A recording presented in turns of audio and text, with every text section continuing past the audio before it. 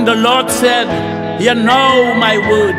If there is a prophet among you, I, the Lord, will make myself known to him in a vision and speak to him in a dream. In the spirit, in the valley of dry bones, the prophet Ezekiel had a vision, a revelation.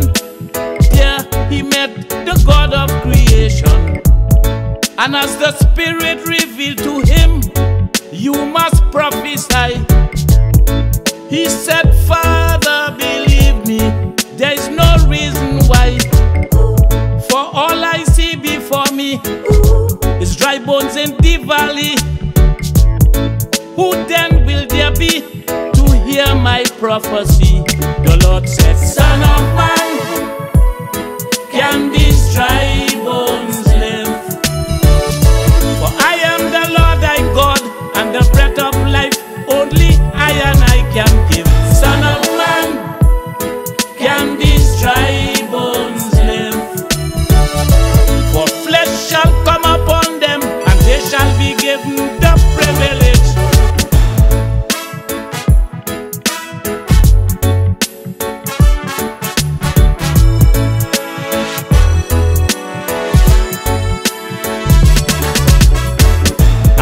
the power of the anointing, the prophet Ezekiel, while worshipping, he heard a rumbling in the earth and from the surrounding. And as the valley gave up their dead, rising from the grave, being reborn of the Spirit, destined to be saved. For skeletons of humans return from in oblivion witness the word. Now let thy voice be heard.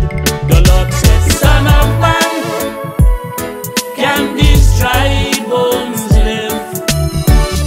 For I am the Lord thy God, and the breath of life only I and I can give. Son of man, can these dry bones live?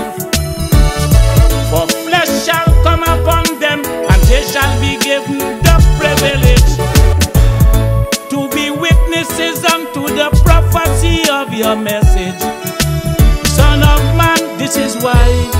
you will prophesy. Standing in the presence of the Almighty, Ezekiel saw the bones being assembled, and so he trembled, worshiping the Lord in his glory.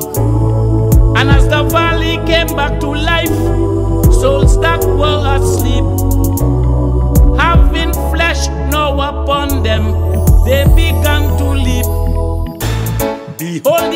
an army abiding in the valley. Go speak to the wind, bring forth thy prophecy. Son of